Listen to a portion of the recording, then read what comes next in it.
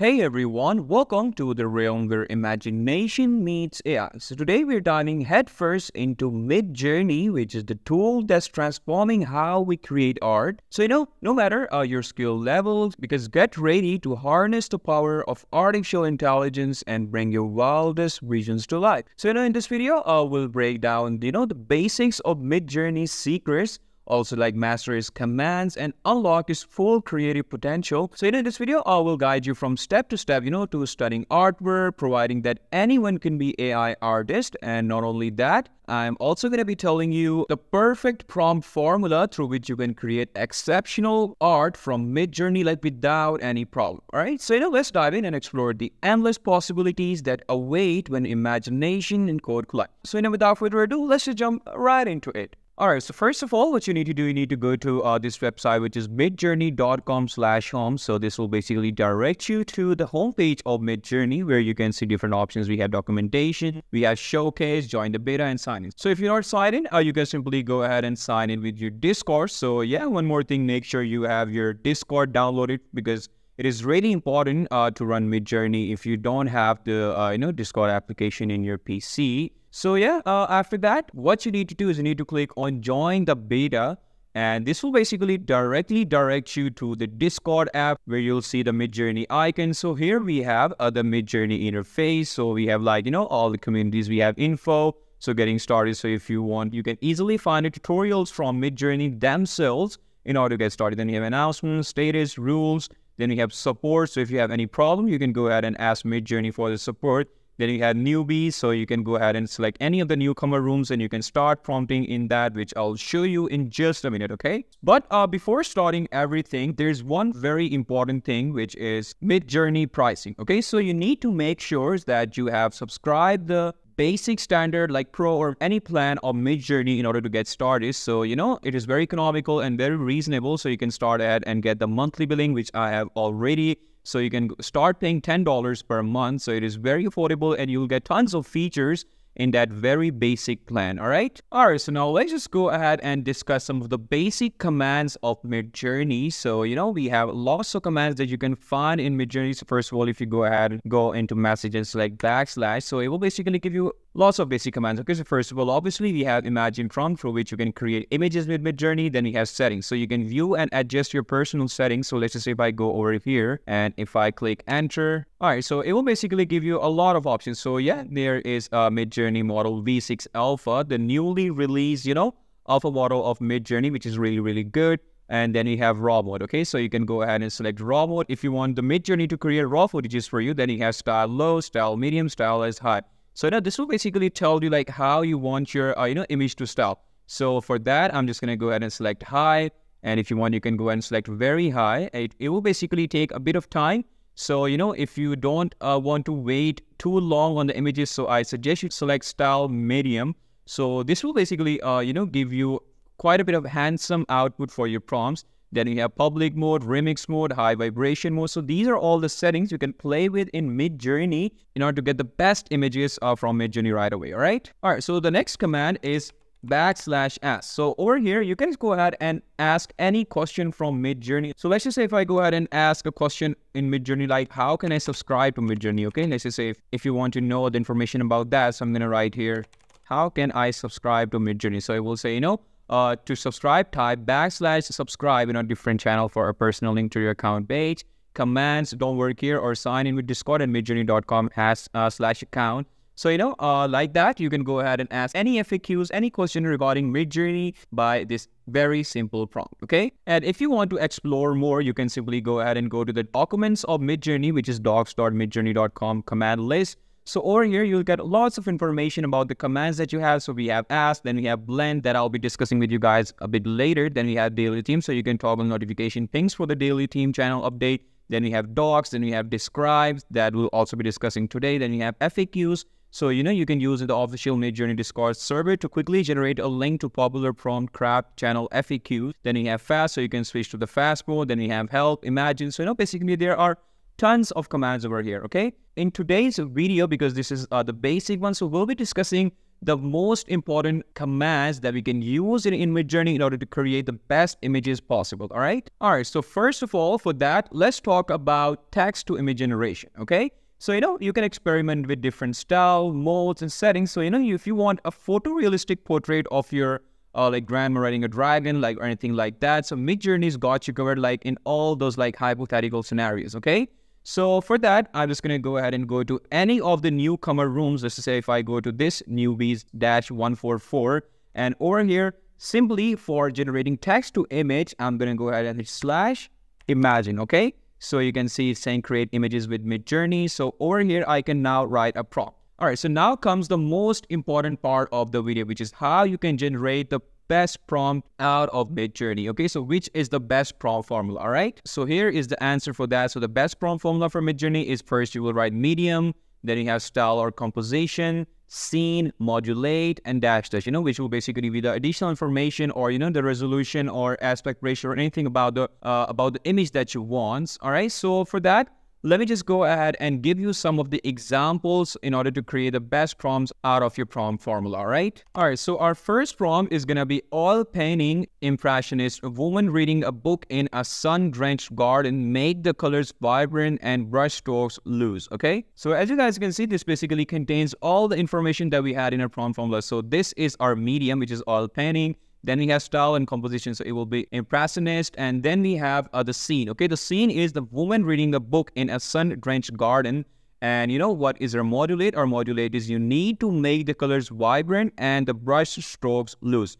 And what is our dash dash? So we want the image to be as aspect ratio of 4 by 3. Okay, so now let's just go ahead and hit enter and see what is the output for that? All right so it's waiting to start. So I just need to wait for a minute in order to that to be complete. All right so as you guys can see that's basically automatically uh, you know assume that we want our style to be raw and it's basically using the version 6.0 which is really really good. All right so check this out. So you know through our perfect prompt formula it has created amazing output for our images which was all painting okay so obviously it was oil painting impressionist woman reading a book in a sun-drenched garden, which is exactly right, make the colors vibrant and brush strokes loose, which is absolutely perfect. And our aspect ratio was 4 by 3. So, you know, this prompt basically, it can lie in the category of human, nature, or serene, or just like that, okay? So you can go ahead and, you know, just prompt according to the categories that you want. So if you go ahead and see more of the details, so we have U1, U2, U3, U4. So if you guys might be wondering, so this is basically the option to upscale the image, okay? So if you want the first image to be upscaled, this one. So you can go ahead and simply click on U1. If you want the second one to be upscaled, you can go ahead and click on U2. That if you want this one, so U3, and this one. Uh, so for that, you have to select U4. And for V1, V2, V3, V4, these are for variation. So let's just say um, I like the photo of, you know, this fourth one. I like the fourth image a lot and I want more variations of these kind of images. So for that, I will select V4. So this means, you know, I want more like variation of our fourth image, okay? So, you know, basically, uh, you know, starting the job. So let's just wait for that. All right, so check this out. You know, we set to Midjourney to create the fourth variation of this image, right? The fourth one right over here. And for that, it created me like more variations. So let's just say on this image, I'm very much liking the third one, okay? Because the view is a lot visible and it's a lot appropriate, right? So I can go ahead and select U3 because I want the third image to upscale, right? So I can click on that. And if you don't want, you can go ahead and simply click on this button. So if you want Midjourney to start everything like again, okay? So check this out. You know, this is our final result, which was basically oil painting, woman reading a book in sun French garden, make the colors vibrant and brush stroke loose. And for that, this is our final result, which looks absolutely perfect, right? So now let's just go ahead and see our second example by again our prompt formula. So this time our prompt is going to be, so for that uh, you can see once again this is our medium, uh, this is our style composition, this is our scene, this is our modulate, and this is our additional detail which will dash dash. So we want zoom to be 2x, okay? Alright, so check out this. So it was digital art, surreal, a city floating in the clouds. It was basically hypothetical, add a sense of mystery and wonder. So check out the results. These are absolutely beautiful. So let's just say I'm really much liking um the third image, right? So I want to upscale the third image. And for that, what I need to do is I need to click U3 So it will start working on the upscaling of my third image. So this is the final result. So I can go ahead and save this image right away. I can use that for, you know, whatever purpose I want. So now let's just go ahead and see our final, uh, you know, prompt and final perfect prompt. So for that, I'm going to be using a black and white image. So I'm going to go ahead and select imagine again. And in that, I'm going to type black and white, a lone astronaut standing on the surface of Mars, focus on the vastness and isolation of the landscape. And I want the photo to be grainy, okay? So let's just hit enter and see what output is going to generate for that. Okay, so it's saying uh, the, it's invalid parameter because, uh, you know, grainy is unrecognized. So, okay, no problem. We're going to change it. So I'm going to hit imagine once again. And instead of grainy, I'm going to write like zoom 2x, okay?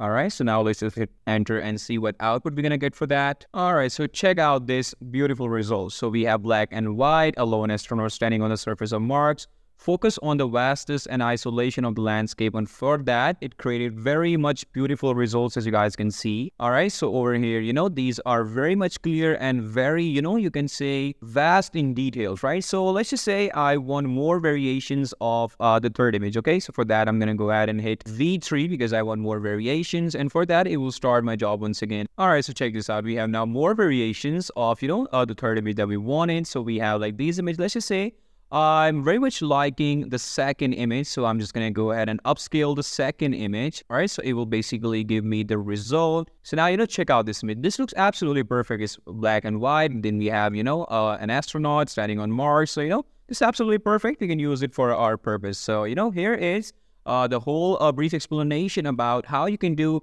perfect text to image generation with your perfect prompt formula. All right. All right. So now let's talk about the image to image creation. So now with Midjourney, you can go ahead and upload your images. Uh, so you can upload files and you know make more variations out of images. Okay. All right. So for that, uh, you need to go to uh, your Discord once again, and for that, uh, you need to upload uh, your file first of all, which will be basically your picture, right? So you need to click on this plus option and click on upload a file. All right. Okay. So this will direct you to your uh, file explorer, so you can basically go ahead and input any image you like. So let's just say I provide, you know, the image of this cat right over here. And after you're done with the uploading, so you need to click enter. Okay, so this will basically, you know, process and upload the image to Midjourney. And from now on, you need to go ahead and press right click and, you know, copy link of the image. All right.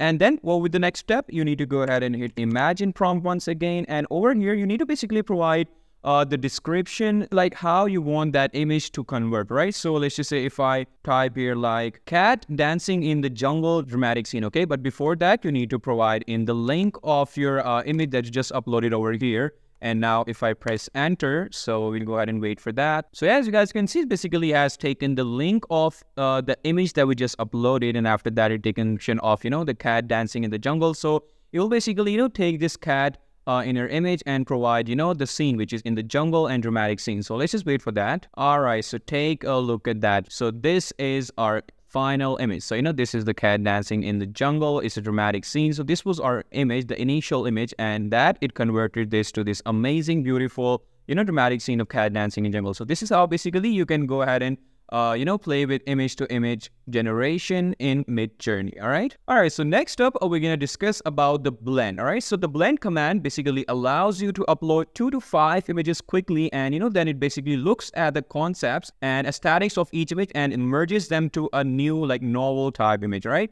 So let me just demonstrate like how it works. For that, you need to go to uh, your Discord again and with slash, you need to provide in the command, which is blend. All right. So it basically, you know, has provided you two options, but you can go ahead and attach four more if you want, okay? So let's just say if I want to blend two images. All right, so we have two images over here. So first one is the image of a statue and the other one is the image of flowers, okay? So let's just say if you want to blend both of images together, like, you know, I want statue and the flower to be like blended in one image. Okay, so for that, I'm just to go ahead and hit enter. Let's just see the output for that. All right, so it is basically starting command. So let's just go ahead and wait for that. All right, so take a look at this amazing output, you guys. So, you know, here we have the same exact statue of you know, four different variations. So, you know, this was our source image, which was a statue and flower, right? So it basically, you know, blended both of these images together. So now we have four different variations of a statue with a flower. And if I can go ahead, I can upscale any of them. Let's just say I'm good with the first one. So I'm going to go ahead and hit upscale one and it will basically give me the final output, which is a statue and the flowers with that blended together in one particular image. All right. Okay. So now last but not least, we have a command which is describe. So the describe command allows you to upload an image and generate like four possible prompts based on that image. Okay. So, you know, uh, you can use the describe command to explore new vocabulary and aesthetic movements. Okay. So for that, you just need to click like backslash and you know, you need to type describe. So now it will ask you to attach a file. So let's just say I attach any file over here at uploading my picture and if I hit enter, so you know, it will start uh, sending the command Midjourney bot is thinking. So, you know, it basically as described the image. So you're saying a young man in a green bomber jacket is standing on the sidewalk in the style of, you know, this and UHD image in uniformly staged images, webcam photography. So let's just say I provide some other image. So I'm just to go ahead and type describe once again. And now I provide some kind of a scenario. So let me just do that. Let's just say I provide this image of prompt engineering, okay? And which has a robot as well. So let's just see how well it's going to describe me for that. All right, so now we have again uh, the four possible prompts based on that image. So you're seeing a robotic head in front of an electronic screen that has the words prompt engineering in the style of mad drawing. Then you have a picture of a robot with the words prompt engineering in the style of realistic renderings the robot has the words prompt engineering on a green background, you know. So, you know, just like that, uh, you can basically go ahead and copy these prompts and use that in Midjourney. So, you know, now with the help of Midjourney, you can not only you know, create images, but you can also upload images and create prompts out of that as well so that you can use it for your good use. All right. All right. So there you have it, guys. So now Midjourney secrets are unlocked to you and the only limit is your imagination. So yeah, I hope you like this video. And in the next one, we'll be discussing about the advanced features and everything uh, you need to know about Midjourney. All right. So I'll catch you guys in that video. Until then, take care. Bye-bye.